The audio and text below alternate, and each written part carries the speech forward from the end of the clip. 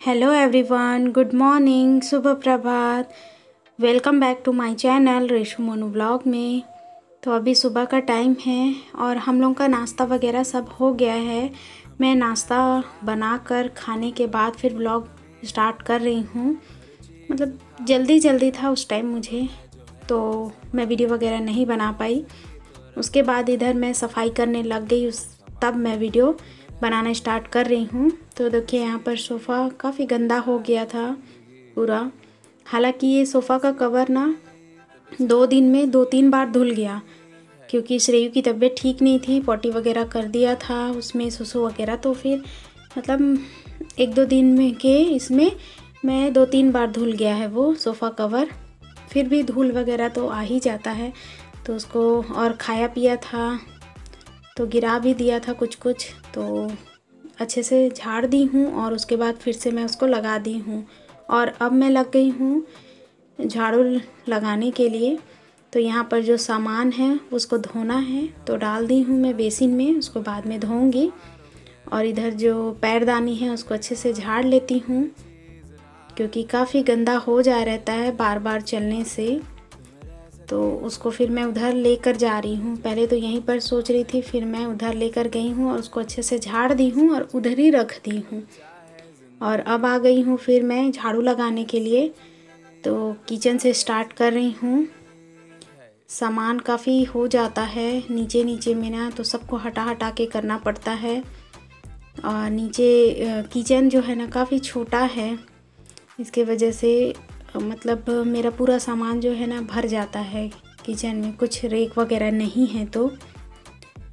और पूरे सामान को मुझे हटा हटा के करना पड़ता है। सारा सामान मेरा पूरा नीचे में ही है। तो देखिए, यहाँ पर मैं पूरा किचन को झाड़ू लगाकर अब निकल रही हूँ और अब मैं लगाऊँगी झाड़ू रूम को। तो रूम भी काफ़ी गंदा हो गया है पूरा। धूल वगैरह काफ़ी आता है तो।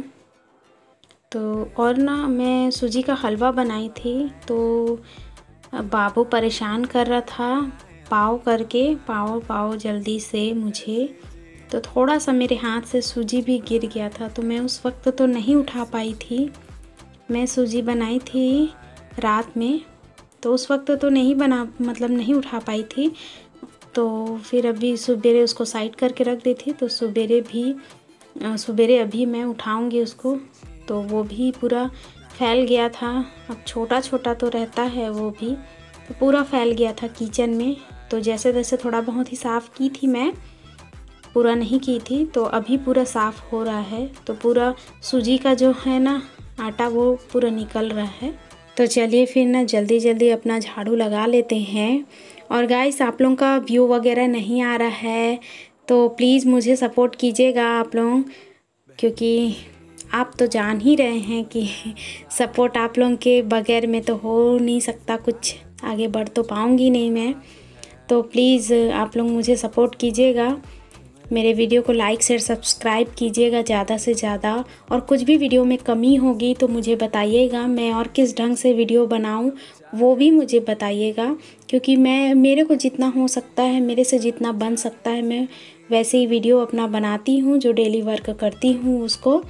तो और भी कुछ कमी होगी तो आप लोग प्लीज़ मुझे बताइएगा और प्लीज़ प्लीज़ गाइस आप लोग मेरे वीडियो को लाइक शेयर सब्सक्राइब कीजिएगा ज़्यादा से ज़्यादा।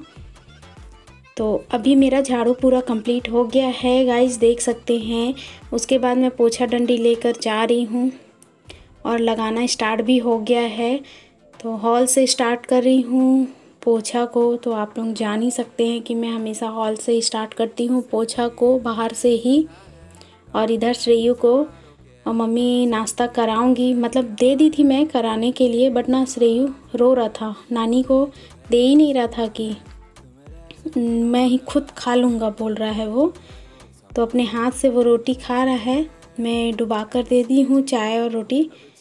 और सेयू क्या है, रेडी हो गया है नहा धोकर मतलब पूरा तो नहीं नहलाई हूँ, फिर भी थोड़ा बहुत हाथ पर धुला के उसको नहला धुला कर रेडी कर ही दी हूँ। और उसके बाद मैं मम्मी को बोली, आप देखना, मैं इधर पोछा लगा रही हूँ। तो मम्मी वहीं पर बैठी हुई हैं, देख रही हैं और इधर मैं फटाफट से पोछा लगा रही हूँ। तो देखिए, हॉल का हो गया है और छोटे वाले रूम का भी मैं कर ली हूँ। उसके बाद यहाँ रूम में आ गई हूँ और रूम का मैं पोछा लगा रही हूँ। और इधर देख सकते हैं, श्रेयू खा रहा है और उधर टीवी लगा दी हूँ तो वो टीवी भी देख रहा है। मम्मी को ना टच करने नहीं दे रहा है, बदमाश मेरा बच्चा। तो उसके बाद देखिए, झाड़ू पोछा पूरा कंप्लीट होने के बाद मैं आ गई हूँ किचन में खाना बनाने की तैयारी। तो आज मैं बनाऊँगी मटर आलू की सब्ज़ी। तो मटर को पहले ही मैं रख दी थी उबालने के लिए तो वो उबल गया है। तो उसको खाली कर दी हूँ क्योंकि मैं उसी में ही बनाऊँगी सब्ज़ी को, कुकर में ही, क्योंकि आलू को मैं नहीं उबाली हूँ ना। और मटर को थोड़ा एक दो सीटी लगा दी हूँ तो वो हो गया है। फिर और कर दूँगी। आलू और मटर डालकर दो तीन सीटी तो और अच्छे से पक जाएगा, अच्छे से गल जाएगा तो काफ़ी मस्त और टेस्टी लगता है, अच्छे से गलता है तो। और देखिए, बर्तन था उसमें थोड़ा सा तो उसको मैं बर्तन जाली में पूरा सेट कर दी हूँ, जमा दी हूँ और उसके बाद यहाँ पर कुकर को देखी पानी तो झड़ गया था तो फिर मतलब पानी सूख गया था, पानी था उसमें तो। उसके बाद फिर तेल डालकर अब मैं जीरा वगैरह डाल दी हूँ उसमें और इधर आलू प्याज वगैरह सबको काट काट ली थी। पहले से ही रख दी थी मैं तो प्याज और मिर्ची को डाल दी हूँ और मसाला भी मैं रेडी कर ली थी। मिक्सी में पीस ली थी मैं प्याज और लहसुन को। तो देखिए, मसाला भी तैयार हो गया है और अभी मैं बना रही हूँ चावल। दोनों को साथ में रख रही हूँ।